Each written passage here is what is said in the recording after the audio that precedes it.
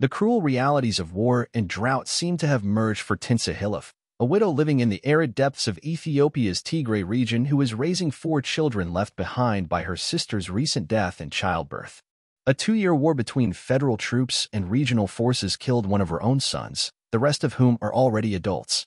And now, a lack of food stemming from the region's drought has left the youngest of the children she is raising malnourished. She tries to forage seeds among the scarce greenery of the desert's yellow, rocky landscape. But she recently resorted to traveling to the nearby Fanarwa Health Center in southeastern Tigray to try to keep the one-year-old baby alive. When hungry, we eat anything from the desert, she said. Otherwise, nothing. She joined several other mothers seeking help at the center in the remote administrative area of Nebar Hadnet.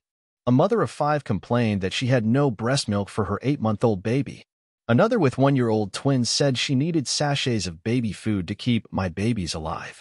Tigray is now peaceful, but war's effects linger, compounded by drought and a level of aid mismanagement that caused the UN and the U.S. to temporarily suspend deliveries last year. Once lush fields lie barren.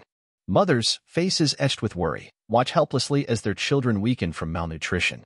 Nearly 400 people died of starvation in Tigray and the neighboring Amhara region in the six months leading to January, the National Ombudsman revealed in January a rare admission of hunger-related deaths by a federal government.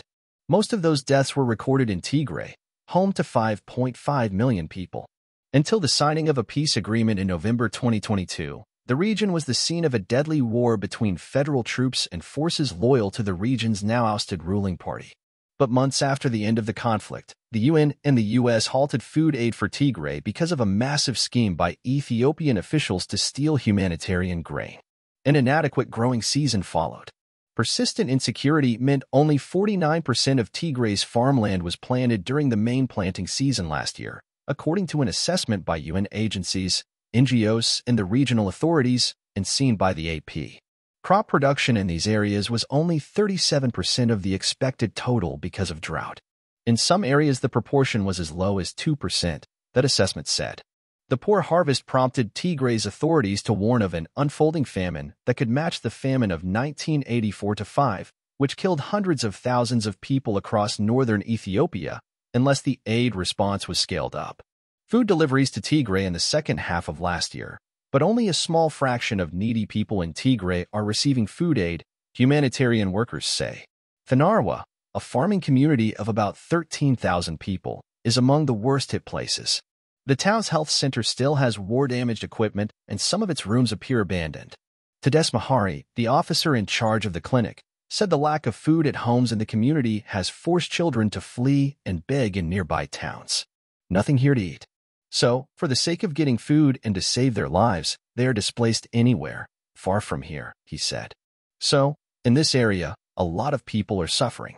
They're starved. They are dying due to the absence of food. Some local leaders, feeling helpless, have been turning their own people away. Haile Gebrekidan, a Nebar Hadnet district leader for five years, listened to the pleas of villagers who streamed into his office one recent afternoon. A widow named Sarawat Wolde with ten children was in tears as she recounted that five of them were falling ill from hunger. Please, any help? she told Hale. Hale told the woman he had nothing to give. There simply isn't any food, he said. Hale later told the AP, this place used to be a source of hope, even for those displaced by the war. We had enough for everyone, but now we can't even feed ourselves. The war took everything, he said. There's nothing left. Havale said access to water was an additional challenge. Of the 25 wells that once sustained the community and its animals, only five remained functional. People now trek for over an hour and a half to access water, he said. The region's drought has meant that some areas that usually get about 60 days of rain during the rainy season have seen only a few.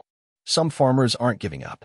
Haile Givrek Kirstos, 70, continued to plow his parched land and plant sorghum in a village in Masebo, although rain fell only two days during the last rainy season, he said. Once lush and teeming with livestock, the land is now a barren expanse, yet he remained hopeful even after the failure of the previous harvest.